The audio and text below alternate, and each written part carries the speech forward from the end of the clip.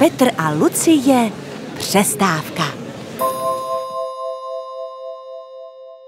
Hezký den, vážení diváci. Ať už nás posloucháte kdekoliv a kdykoliv, vítáme vás u podcastu Divadla Studio 2.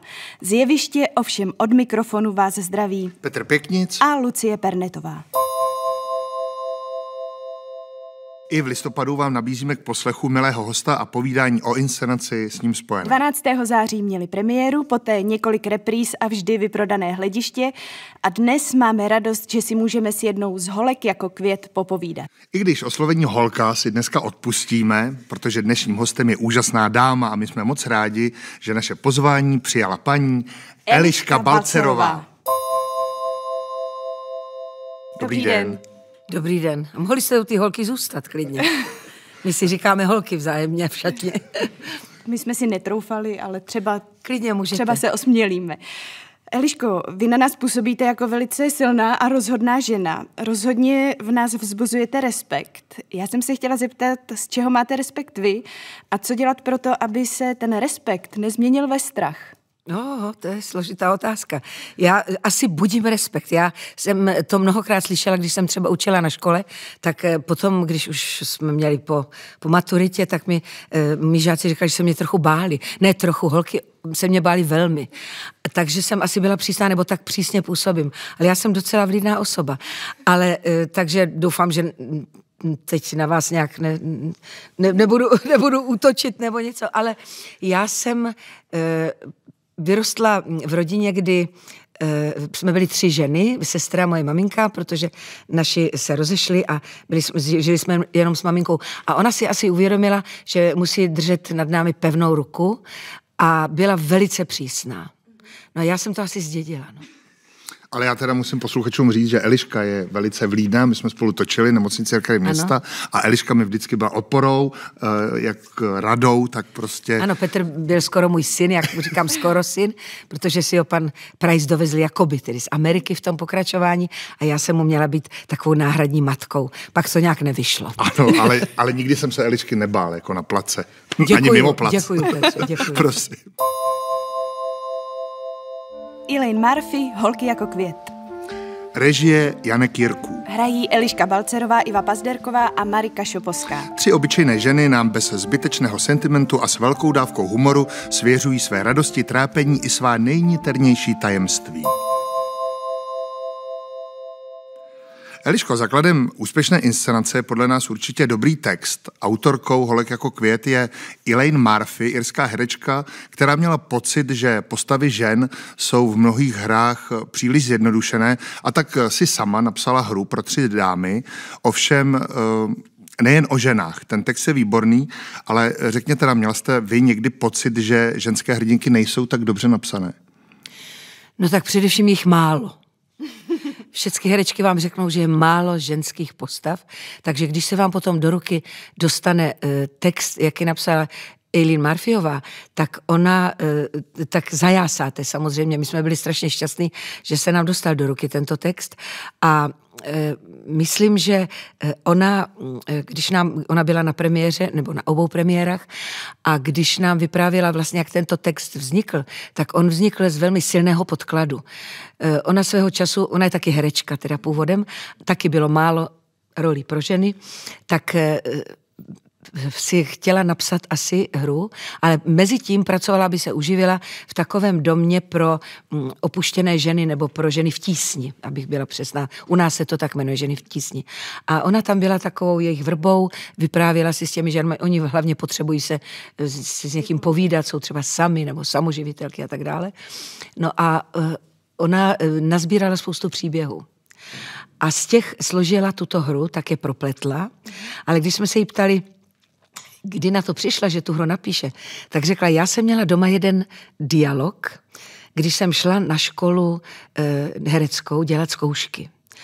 A měla jsem tehdy takový bouřlivý období a, a teď jsem vůbec nevěděla, co po mně budou chtít a eh, řekli mi tam, eh, oni budou chtít po tobě nějaký monolog, dialog, nějakou báseň a on říká, že to já vůbec nevím, co budu, co budu říkat. Tak šla domů a napsala si dialog a ten dialog byl první, který taky v této hře je a je to dialog e, vlastně s Rejem, to byl, jej, to byl z té střední, té, jako by mojí dcery, e, té, té Loren, rozhovor s manželem, který ho potká po rozchodu a potká ho jako vágu se ve strašném stavu a teď vůbec se nemůže poznat a je ráda, že se spolu rozešli, ačkoliv ten rozchod, rozchod byl velmi eh, jako drsný. A ona říká, to byl první dialog, který jsem si sama sobě napsala. Já jsem ho na té škole udělala. On to je takový dialog, nedialog. Ta hra zvlášť, má zvláštní formát, že vlastně mluvíte za všechny role a eh, nebo oslovujete ty lidi, ačkoliv tam nejsou. A ona se na tu školu dostala. Tak říkala, toto jsem měla uschovaný a ten do toho tak zapletla, ten, tady ten dialog. Takže tam je, to jádro tam je vždycky, když ho Iva Pazderková kolegyně říká, tak si říkám, tak toto je začátek to je to tady té krásné hry, to je to místo. Hezký. A ona se autorka přijela podívat sem na premiéru. Ano. Měla jste potom možnost s ní mluvit? No, ředitelství divadlo, divadla ji pozvalo, ona byla nesmírně šťastná, protože doba je zlá a tam ten covid ještě řádí. Ona teda přijela eh, očkovaná, všechno tady dodržovala, ale říká, poprvé opouštím hranice. Byla strašně šťastná, že se může přijet a moc si to tady, myslím, s námi užila, protože my už jsme se tedy znali z dřívějška mm, a tehdy poprvé, když jsme ji zvali, tak vlastně poprvé opouštěla svoje dvě malé děti. Takže taky to byla taková svoboda najednou. A eh, myslím, že Eh, v obou případech byla velmi spokojená s tím, eh, co jsme jí předvedli. Vy tady eh, u nás v divadle máte ještě jeden hit, Můj báječný rozvod. A to je taky irská autorka, která taky přijala na premiéru. Nejen. Nejen, jak, jak nejen? Nejen, protože já už to hraju asi téměř po devítisté. A ten, my jsme vždycky třeba za dvě 200 repríz eh, pozvali autorku, ano. jak já říkám, na kontrolu, mm-hmm. jestli je to ještě v jo. pořádku, jestli, jestli to hraju ještě pořád, tak podle jejich představ. Protože ona to představení měla velmi ráda. No a takže eh, jsme ji pozvali na dvoustovku, na čtyřstovku, na šestistovku, na osmistovku jsme nemohli, protože to byl covid. Mm-hmm. Přesto ona neustále píše eh, z Londýna, že sleduje, že hrajeme a že, že nám přeje hodně štěstí. Takže já říkám, nejen na premiéru přijel. Jasně. No a jaký to je, když, nebo jaký to bylo, když měla přijet poprvé, byla jste nervózní, nebo jste vůbec ještě nervózní? Byla jsem velmi nervózní, protože ona si tak trvá, ona se především ptala, kdo to bude překládat a zjišťovala si to, kdo to bude překládat a e, velmi trvala na určitých věcech, aby tam zazněly a tak dále. A když po, pro ní jeli e, před premiérou na letiště, tak řekla, e, já jsem e, viděla v tom překladu, že ona tomu manželovi říká Max. A já bych chtěla, aby mu říkala Maximilian. A já jsem říkala, no to já se vůbec nemůžu naučit. Nebo prostě mě to už prostě z pusy nevíde, ta, tu změnu toho jména. No a ona si potom, ona nechtěla jít na premiéru a e, řekla, já stejně tomu nebudu rozumět v tom jazyce a já vždycky jsem při svých hrách schovaná někde na záchodě. Nicméně si sedla do toho hlediště my jsme měli dvě premiéry, protože to bylo tehdy ve Viole, Viola byla malá, takže přišla i na druhou premiéru a říkala, všemu jsem rozuměla, protože to bylo čitelný, eh, jak to hraješ a ten Max mi nevadil. to je hezký. Ony vůbec, ty irské hry jsou tady na českých jevištích populární. Ano, velmi.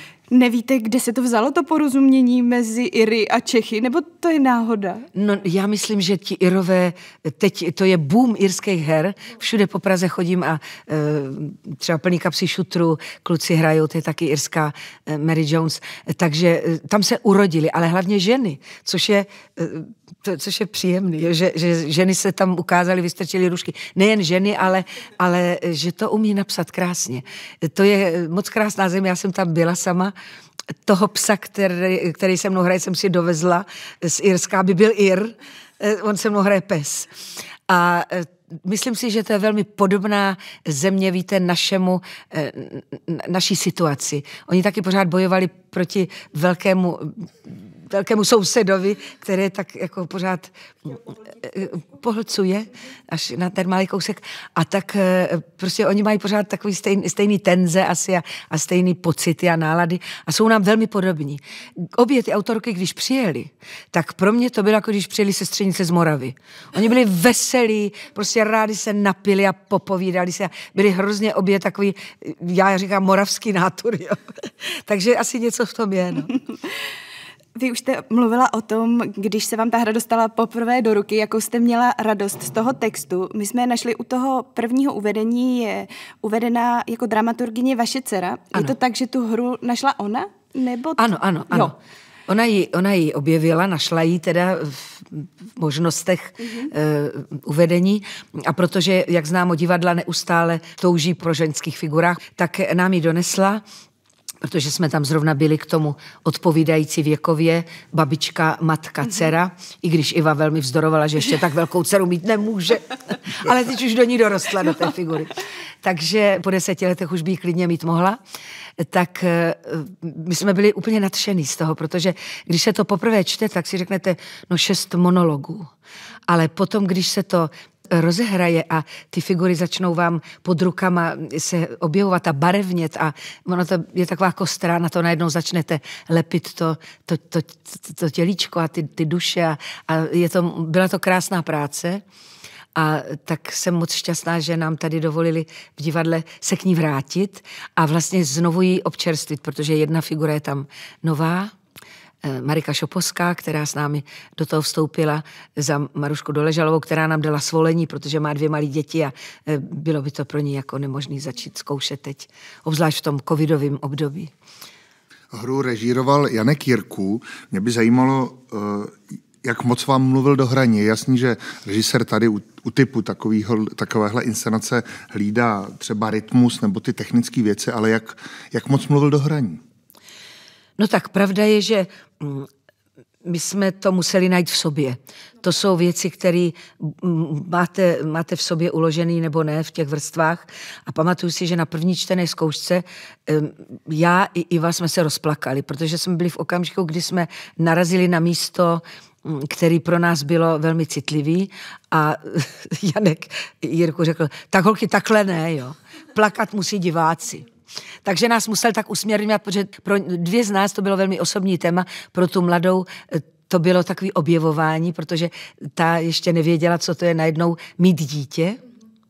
A takže pro ně to byly ještě takové jako panenský kroky, ale pro nás Ivo, který už jsme měli něco za sebou, tak to bylo stoupení vlastně po druhé do řeky. Jo. A tak to bylo takový krásný a najednou to druhé inscenování zase v nás otevřelo úplně jiný vrátka. To bylo, bylo to krásné. My děkujeme Bohu každým dnem, když se tady sejdeme a hrajeme to, že jsme tu hru zase mohli uchopit do rukou. No, je to krásný, úplně se mě vybavil teď ten zážitek z toho představení, když jsem ho viděla. Chtěla jsem se ještě zeptat, vy sama jste řekla, že ta hra vyžaduje dokonalou souhru a mm, mohla byste nám nějak popsat, jak tomu rozumět, protože zvenku by se divákům mohlo zdát, že vlastně souhra není úplně to, co je při takové hře potřeba. Každá máte svůj prostor, eh, svůj jasně daný čas, v podstatě se nepotkáte na jevišti, tak eh, v čem myslíte tu souhru? Eh, v tom, že my vlastně se hrajeme vzájemně. Víte, my všechny tři hrajeme vzájemně každou z nás. Takže já když tam přijdu, tak já začnu mluvit krásně o své dceři, jak mě strašně pomáhá. Takže já vám ji namaluju, máte-li fantazii, tak si ji představíte. Přijde Iva a říká, matka tam seděla, byla taková pokroucená, hrdla mi na nervy a hraje mě, jak já vypadám. A pak obě dvě hrajeme tu mladou a ta mladá zase hraje babičku a, a matku. Takže eh, je, když tady byla cítit ta, ta leštěnka, tak matka zase má nějaký problém. A vy víte, že ona je uklizecí žena. Maniak. Víte, a tak se vzájemně do toho konce mm-hmm. po těch šesti monolozích tak namalujeme, že jedna divačka nám jednou řekla, já jsem jenom litovala, že tam na konci nebyl ten malý kluk, co se vám narodil, protože my jsme měli představu o vás všech tak mm-hmm. dokonalou, ano. že jsme měli pocit, že někde tam v zákulisí je a že ona ho donese na scénu. Víte, to je taková krásná probouzecí, hra probouzecí fantazii. Mm. A zkoušeli Takže, jste společně, nebo jste si dopřávali samotu? No, nejprve jsme zkoušeli společně, četli jsme to společně, protože při takovéto hře se musíte naladit jako orchestr. Mm-hmm. Musíme se naladit na stejnou strunu. Já jsem třeba basa, Iva je třeba violončelo, Maruška nebo Marika byly housle a tak se musíte naladit. A potom, když jsme to hledali, tak jsme měli uh, separátní zkoušky, že jsme prostě museli otevřít opravdu svoje hluboké nitro a otevírat duši. A to je dobrý, když je člověk sám, třeba s režisérem, který byl velmi citlivý, takže eh, jsme byli sami. A když už se to začalo zase rýsovat, že už bychom mohli hrát spolu, tak jsme začali hrát spolu, ale velmi jsme stáli vždycky v portále a sledovali jsme se, protože jsme museli vědět, na co navážete. Víte, na co po čem přijdete po čem jdete? na jeviště, po čem jdete. Takže my tam do dneška stojíme v portále a, a sledujeme se. Hezký. No vy jste to sama nakousla. Jak to máte s ostychem na jevišti? Protože právě to, co říkáte, že musíte vlastně úplně otevřít eh, svoji duši, což na začátku toho zkoušení někdy nebývá úplně jednoduché. A zároveň ta vaše postava je hodně otevřená, vlastně i v nějakých intimních záležitostech. Kde berete tu odvahu se takhle otevřít? No tak eh, jsem herečka. Hraju roli, Aha. takže tu odvahu najít musím už při tom zkoušení a už eh, je to ověřeno diváky, jak to na ně působí a e, musím říct, že je to pro mě taky terapie. Je to opravdu já, ty, ty hry jsou jako spověď. Teda ty, ty monology jsou jako spověď, ta hra je spověď a my se spovídáme divákům a když slyšíme nebo cítíme z toho hlediště, jak oni s náma jdou, jak se na vás napojují, třeba na mě ta starší generace, na Ivu ta střední, na Marušku ta mladá, tak to je úžasný, že oni prostě i sami to s námi prožívají. My se o nich dovíme víc, než oni o nás. Otvírají svá srdce a svoje duše. Takže to je taková krásná souhra a odvaha vlastně to udělat, protože oni taky musí najít odvahu vám to srdce otevřít a tu hru vzít a potom tleskat ve stoje, protože dají najevo, ano, hráli jste taky o nás. Na tohle Petře navážu, protože já jsem měla tady takový specifický zážitek, kousek ode mě seděla dáma a ve chvíli, kdy jste začala hovořit o tom, jak se staráte o svého manžela, který je nemocný v té hře, tak ona se úplně jako neubránila a nahlas vám začala přitakávat. A mě to úplně rozbulelo, dojalo, protože bylo vidět, že ta paní úplně zažívá něco strašně moc intenzivního. Dostává se vám i zpětných reakcí tady od těch diváků, které opravdu zasáhnete na takových citlivých místech v jejich složitém období? No my jsme jeden čas e, s, holkama, teda já budu říkat holky, e, mysleli na to, že budeme e, rozdávat kapesníčky na konci, protože e, ženský začaly hrozně hrabat v kabelkách a, a utírali slzy. Ale ono to skončí potom vlastně, vlastně docela optimisticky, že jeden člověk odejde, druhý přijde. Ale tady na to, jak ta paní vedle vás reagovala, já mám včerejší velmi živý zážitek, kdy tamhle za vámi e, bylo místo, kde seděla nějaká paní a já tam mluvím e, o rozvodu, jaký to její manžel, který se s ní chce rozvést, tady té mé Angele sdělí. Sdělí to dopisem a řekne, mám takový nápad. Ty to podej, ten rozvod, já to zaplatím. A ta paní řekla, to je jako u nás doma. Bylo to velmi smutné, ale já jsem prostě úplně se zarazila.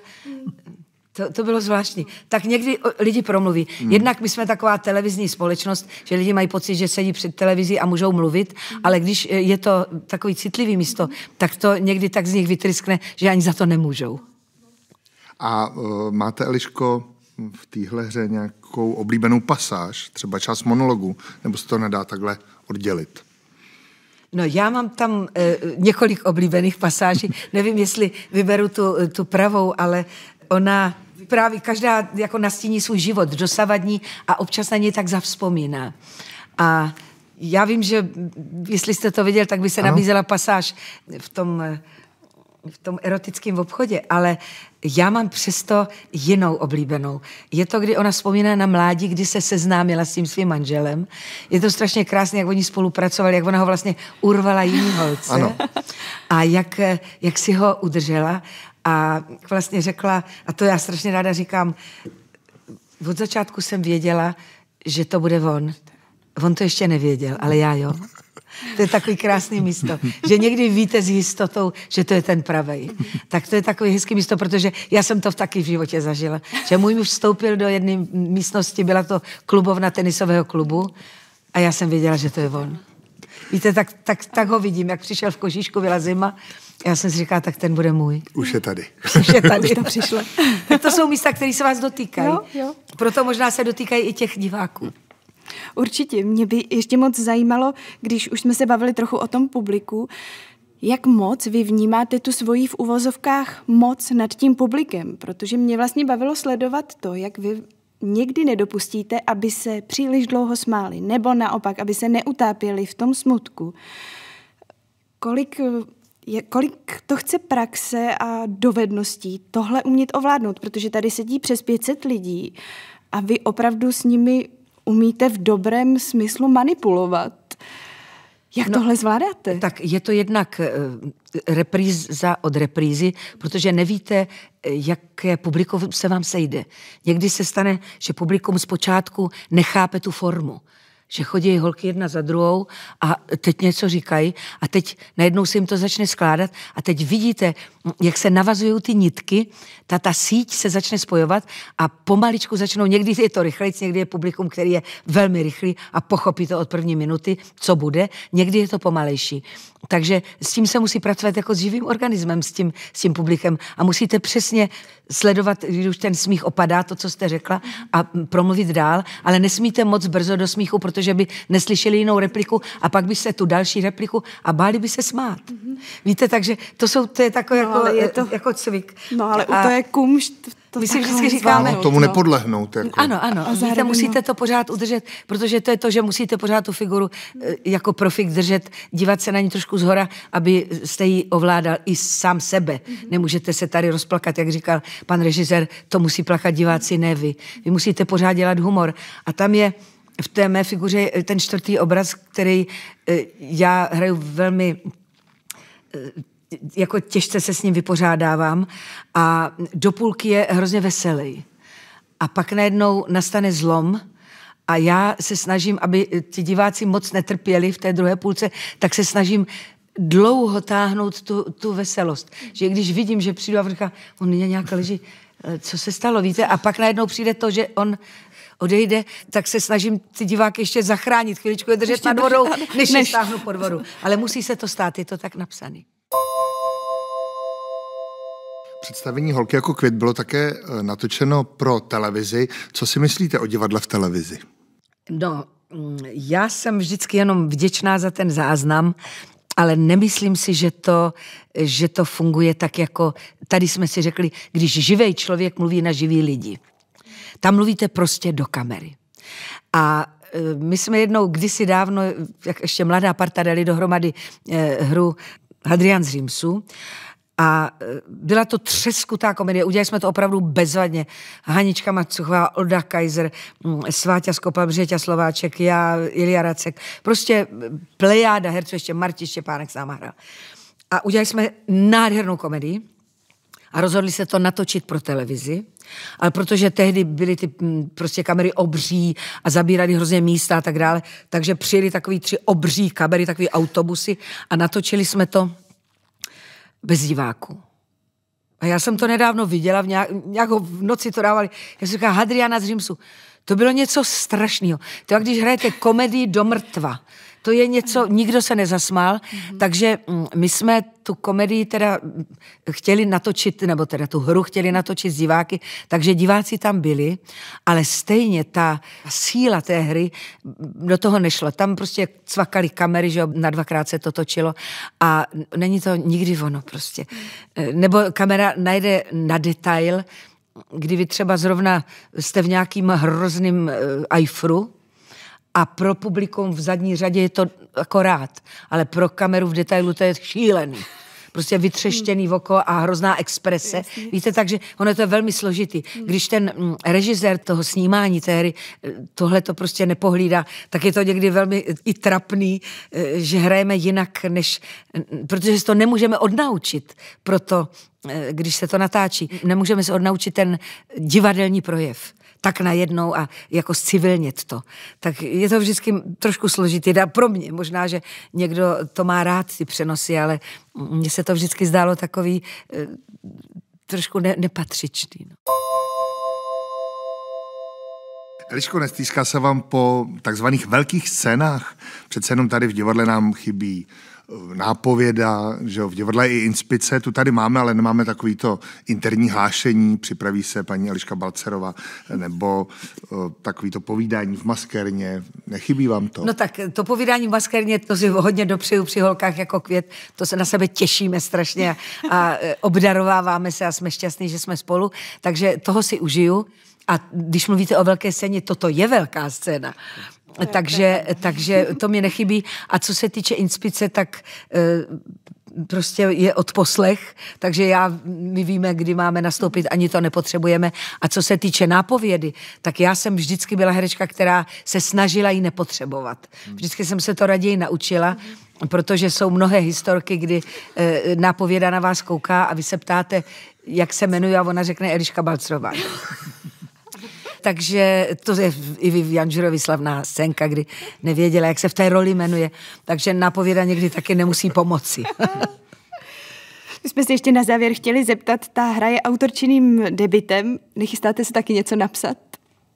Ne, ne, ne, to ne, to ne.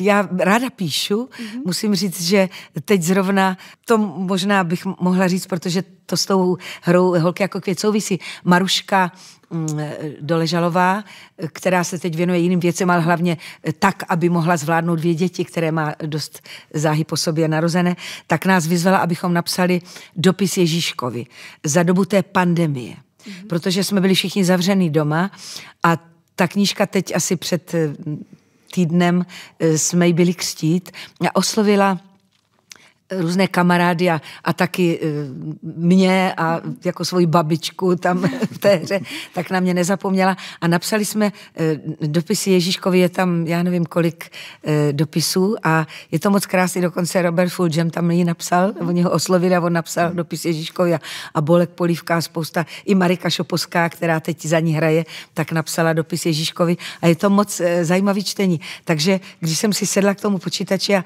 psala jsem, tak mě to docela bavilo. Psát mě baví, ale možná jenom dopis, ale určitě ne drama. To bych si netroufla.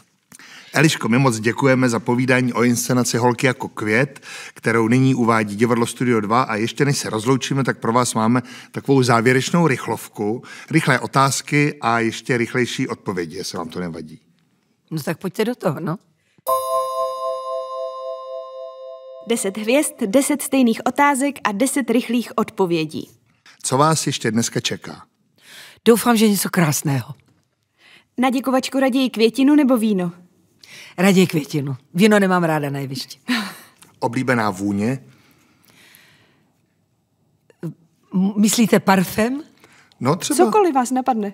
Eh, Leta, snad už 50 let mám parfém Trezor.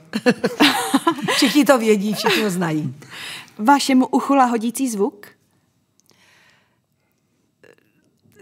Spánek mých vnoučat, když je uložím.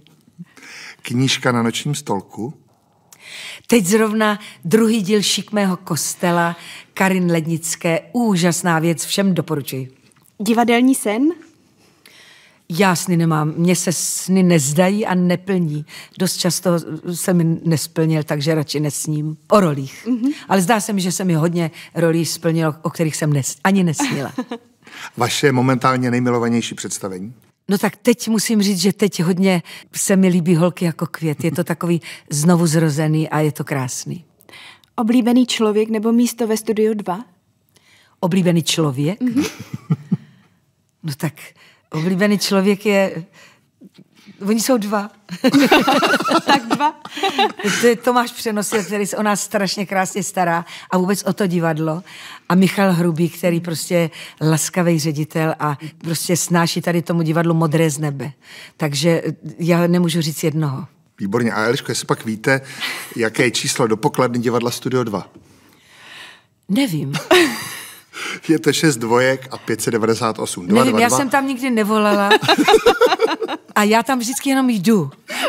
Já tam za děvčatama jdu, že se jdu pro listek vyzvednout, nebo mi tam něco někdo nechá, nebo třeba tam mám nějaký dárek, tak tam chodím, ale nevolám tam. Jasně. A abych pravdu řekla, nevolám ráda, protože ráda lidi vidím osobně. Ano, tak to je otázka zároveň i pro naše posluchače, já jim to jenom řeknu, 222 222 598. Moc vám děkujeme, že jste si udělala čas. Rádi děkuju, jsme děkuju si s vámi povídali. za hezký setkání a povídání. Děkuji. Děkujeme, hezký den.